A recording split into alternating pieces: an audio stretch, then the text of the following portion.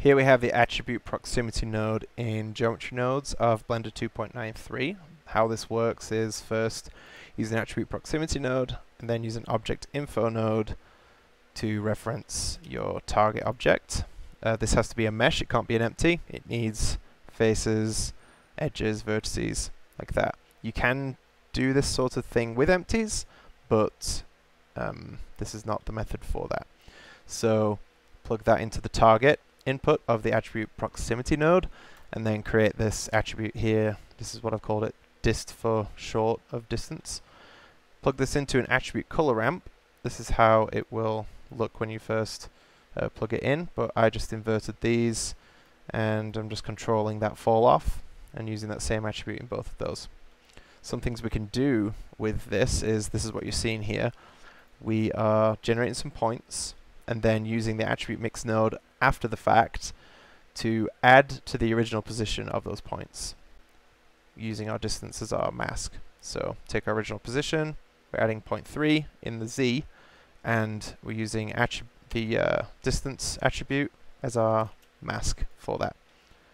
And then instance some geometry on top of that. Another thing we can do is we can plug this directly into, you know, generate some points and then use um, this distance attributes for you know the density where we spawn those points. If we look at the original geometry required for this to work, um, we can see that you know I've I've got a higher resolution plane here, but if we go back and do a limited dissolve and just subdivide this a couple times, um, you know we can see that you know, obviously this is not going to have as much accuracy or smoothness.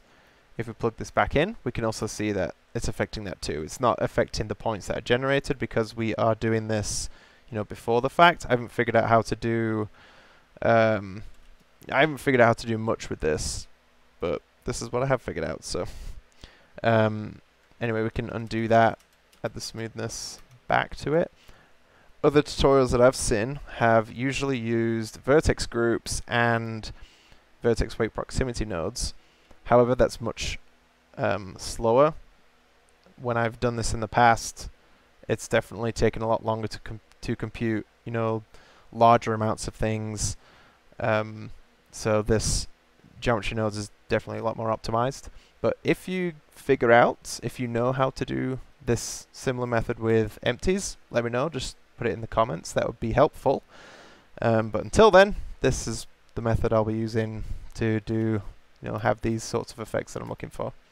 Anyway, hope this is helpful to anyone else. So, see ya. Have a good day.